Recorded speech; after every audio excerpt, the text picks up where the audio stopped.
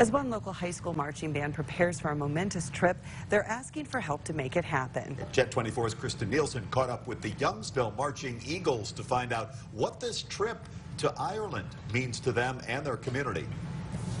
The town of Youngsville in Warren County is typically a pretty quiet place, but some days you'll hear the Youngsville Marching Eagles playing catchy tunes as they march around the neighborhood, practicing their routine.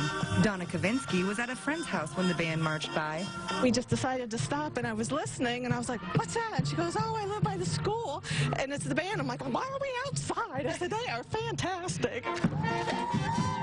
And my husband was a teacher over there for 37 years at Youngsville High School, so we appreciate seeing the band come by. In a few weeks, these students will be headed to Dublin, Ireland for a few performances, including marching in the annual St. Patrick's Day Festival. And to be able to go, you have to be invited. And uh, we have been very fortunate to be able to be invited for the fourth time to perform. And that parade is crazy. For many of the students in this small town marching band, this trip may be the only opportunity they have to travel abroad in their life. So their community is stepping up to help make it happen. I know that they're headed to Ireland, and they need some money, so I'll be sending a donation.